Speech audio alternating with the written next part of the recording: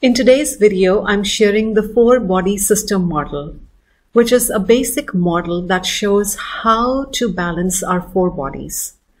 All humans have four separate energetic bodies, physical, mental, emotional, and spiritual. And our goal here is to learn how to balance and integrate these four bodies. Because when they are in balance, we have a clear pathway to health and wellness. We understand our true being there is an exponential increase in our self awareness, and we learn to respect and listen to each body simultaneously without over identifying with any one particular body. So, in this video, we will discuss each energetic body in detail and how to develop the awareness of that body. Next, we will discuss how these four bodies are interconnected and also we'll discuss how to use the four body model system for healing. I've added timestamps in the description below, so feel free to skip forward. So we'll start with the physical body since our physical aspect is the most obvious one. It's the densest of all the bodies and hence it's visible to the naked eye. When you look into the mirror, this is the body that you see reflected. So our physical body starts growing from the moment you are born and it keeps growing till the very last breath you take. So in one way, this body, it needs minimal intervention from you for its growth because it's already programmed into the cells of the DNA. Like even if you didn't do anything, the body is going to keep aging. Now this physical body, it mirrors the functioning of the other bodies. As an example, so let's say a person has stomach issues, stomach ailments. This usually has to do with some emotional imbalance. Headaches, as an example, has to do with control issues. So any illness or dysfunction is a sign that there is an imbalance somewhere and we need to pay attention. And if you want to explore this topic, Louise Hay has a book dedicated to different ailments in the physical body and their energetic causes. And I highly suggest checking it out. You know, one way to think of the physical body is think of it as a spacesuit that you wear to experience planet Earth.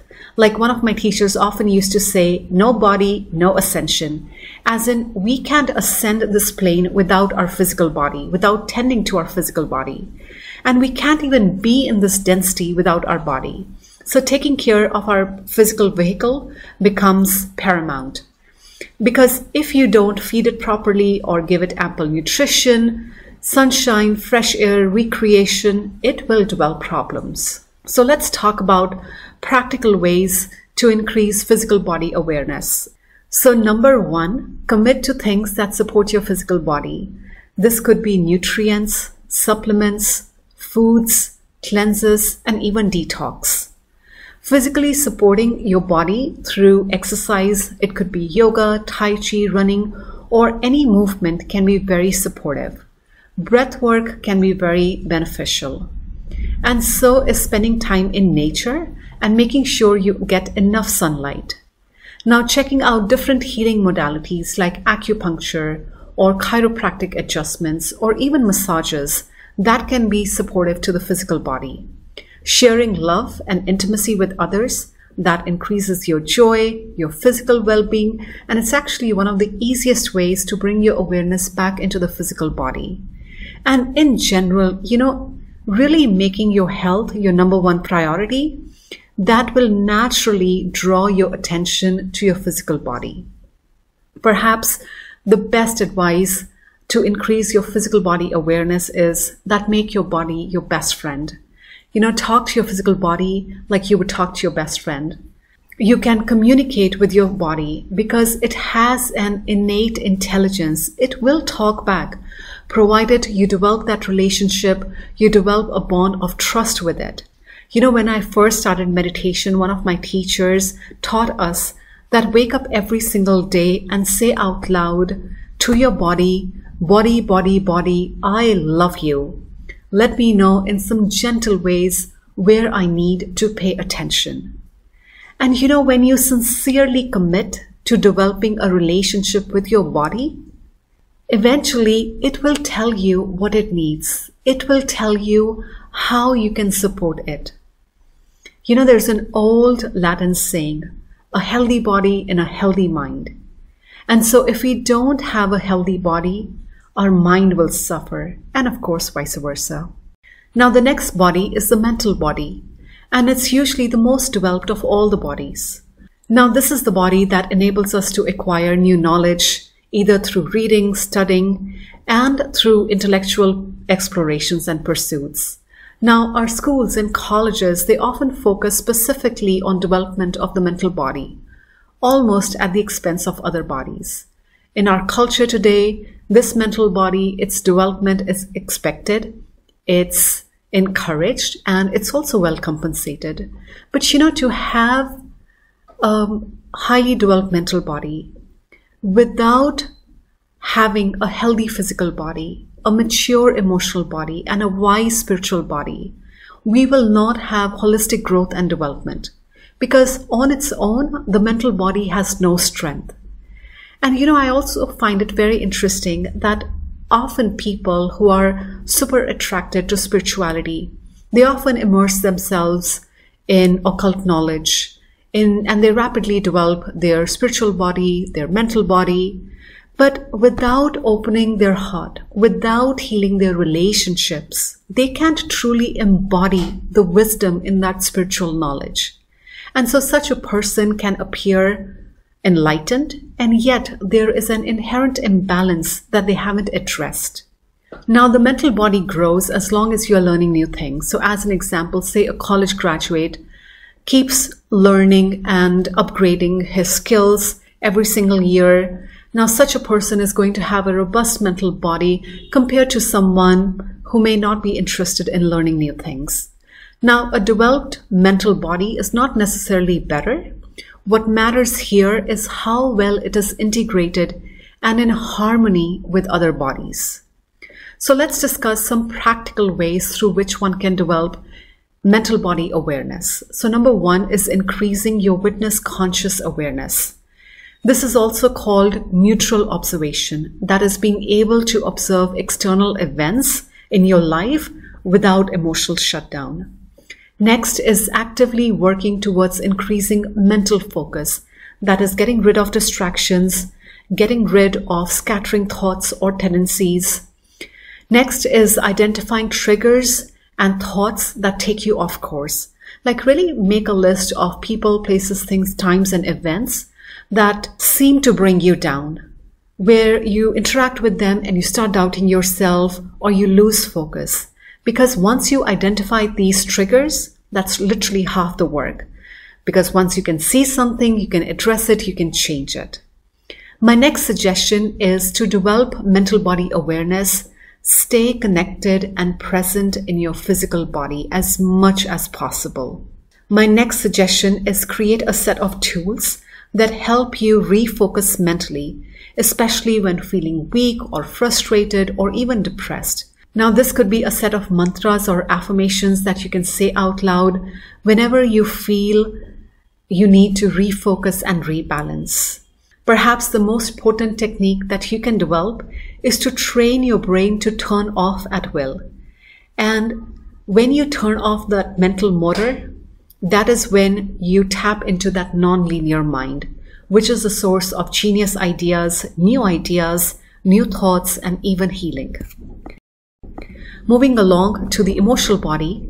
So the emotional body is what makes us sensitive to music, to arts, to dance. And when this body is unstable, we feel as if we are being tossed around by our emotions, or we feel we can't get off emotional roller coaster rides. Usually the emotional body is the least developed of all the bodies, and more so in people who are highly developed mentally. You know, the most important thing that I can tell you about emotional body that I really urge you to remember is that not having emotions does not mean the emotional body is developed, as neither is being uncontrollably emotional. Like one of my teachers says that this is often where the Stoic philosophy is misunderstood. Because true stoicism is not void of emotions. On the contrary, it's about feeling deeply, but not letting your emotions rule you. We need to feel deeply, to have empathy, love, compassion, care, not just for ourselves, but also people around us. Because if we let our emotions rule us, we become like a two year old throwing tantrums, and that's obviously not what we want. Now, the emotional body, it grows when you learn how to manage your emotions, your emotional triggers, without letting them overwhelm you. This body also develops when you allow yourself to feel deeply. You know, it is said that the majority of humans have an emotional body of a seven year old. That is, whatever emotions you had at that time, they get hardwired by age seven. And then your default emotional landscape through which you look at the world, through which you interact with the world, is that of a seven year old. Now, an interesting fact about the emotional body is that even though this body is invisible, it can cause you to put on weight. So, as an example, people who overeat, they use eating as a coping mechanism. They use eating as a way to numb themselves. And this is something which is pretty common and something I also experienced in my life. And here's the catch. You know, once these people address their emotional encumbrances, their emotional triggers, their emotional pain, that urge to eat food, that urge to stuff themselves up simply vanishes. So let's talk about practical steps you can take to develop emotional body awareness. Number one is learn to connect with your emotional feelings. That is to be able to feel your emotions inside your body and connect with them through your thinking process. Next is learn to integrate your emotional self into your physical and mental self. Learn to express what you're feeling in this now moment, like being able to say, I feel angry. Oh, now I'm feeling sad. You know, being able to name the feeling that is arising within you that is potent. Next is learning to express your emotions without becoming stuck in them and without over identifying with them. A lot of times when people are working through their anger, shame, or even guilt, it's very easy to get stuck in it. So to be able to say, I am feeling shame versus I am shame. Next is to be able to identify the source of your negative thoughts and emotions. Because again, you know, once you identify the source causation, what is triggering something, that's half the work. And also being able to identify and discern which are your thoughts and what is it that you're picking from people around you or anything outside of you. My next suggestion is commit to removing and clearing all unproductive and damaging thought patterns from the past for this, you will need to address your fears, your limitations, insecurities, and then clear them. Identifying all emotional conflicts, bring them to the surface, have awareness of them, and then resolving them. Because a lot of times when people repress their emotional conflicts, it create it creates block in their emotional body. And then after a period of time the emotional body starts to feel heavy. It starts weighing them down. Eliminating draws such as guilt obligation emotional vampires from your life is going to be super helpful. And so is consciously eliminating all emotional drama or any person or circumstance that might feed into that kind of relating you know, a signpost that you are developing or on your way to develop your emotional body is when you allow yourself to feel deeply and only respond from a place of calmness, of wisdom, and inner core strength. So, moving along, the fourth body is the spiritual body, and this is how we feel our connection to all things, to God, to divine, to a higher self, and this spiritual body, it encompasses all other bodies. So if the other three bodies are not developed, the spiritual body will suffer. Now, the spiritual body has little to do with what religion you follow, what culture you come from, and it's all about your connection with the spirit. So, as an example, you know, when you tap into your intuition and you listen to your intuition, you listen to that inner guidance and you follow through with it, you are strengthening your spiritual body. Similarly, active imagination is a byproduct of a robust spiritual body.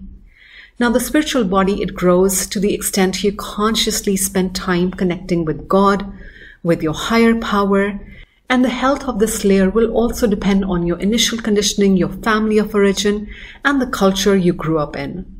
And the hallmark of a highly developed spiritual body is wisdom. So let's talk about practical ways to develop spiritual body awareness. Number one, a good place to start is by studying the law of one practices.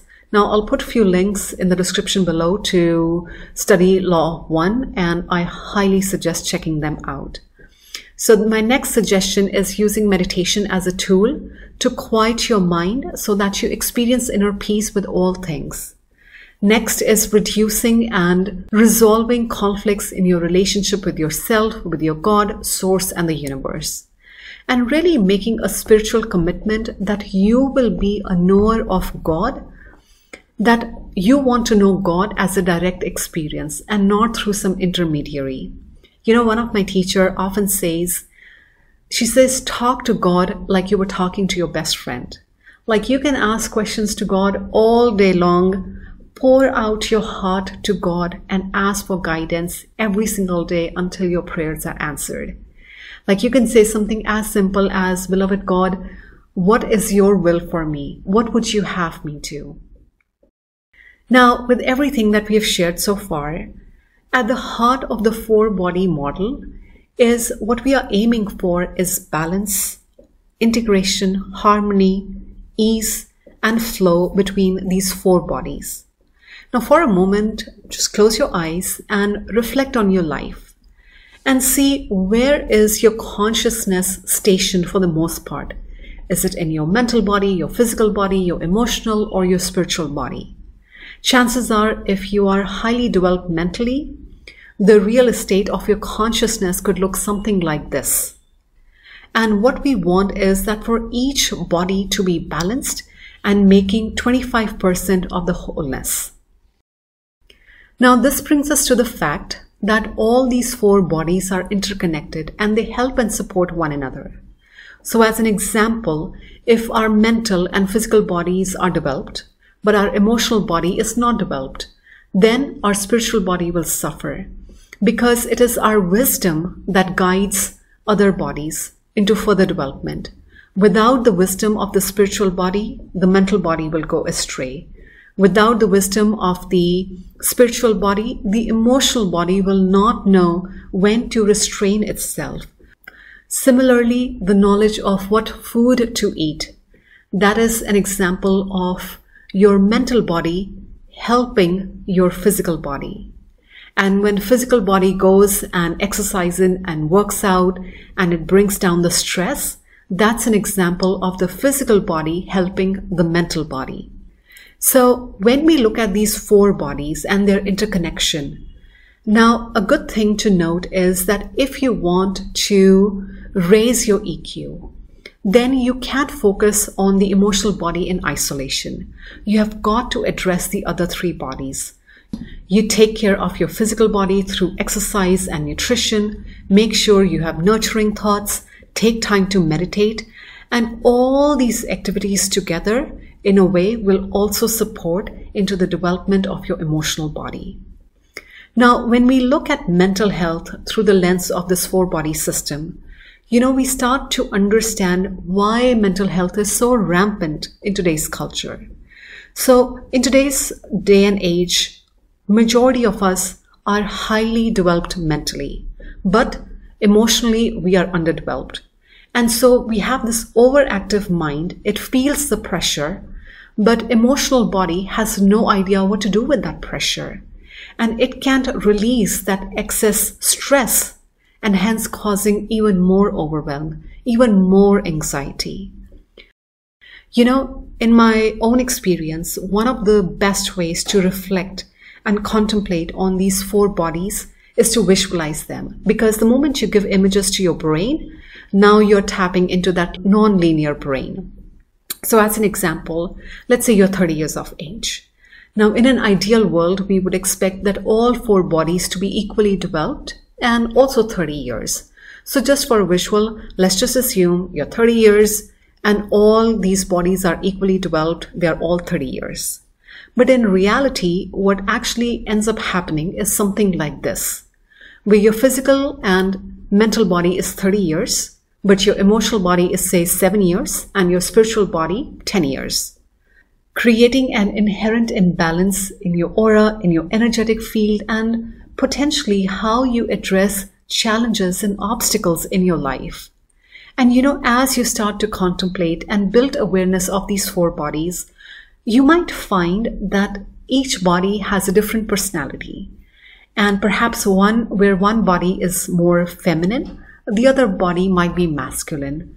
You might notice that one body is maybe 65 years of age, even though your biological age is only 30 years. And so start to play around and see what opens up for you. And just as a side note, please note that there is no right or wrong answer here. Your answers will change as your consciousness develops. Now, once you start working with the four body model and really start to embody its innate wisdom, you will start to realize that at an energetic level, whenever there is an imbalance between these four bodies, outwardly it may manifest as disease. So the gift in this knowledge and having this awareness is anytime you feel unwell, start discerning, okay, which layer is the pain stemming from? What do I need to do in order to heal this pain? And then ask your body, hey, what would you have me do? You know, as a side note, I will add that it's perfectly okay to tend to one body in a more focused way for a short period of time. Say you're preparing for a marathon, or you're going on a vacation, or you have a deadline at work, or you're going to a meditation retreat. Perfectly okay to focus on just one body at a time as long as the overall context is balance and integration. And as you understand these layers, it will help you develop and better yourself with every passing day. And most of all, it will help you create more harmony between your body and mind. You know, in my meditation practice, the four body model is the foundation system that I work with. Anytime I have aches, pain, something happening out of the ordinary, I always tap into the four bodies and just like to know, okay, where we, how am I feeling, where we at, what I need to pay attention to, and on and on. And in all my future videos, I will be referencing to the four body model. So I figured it would be a good idea to dedicate a video on this topic.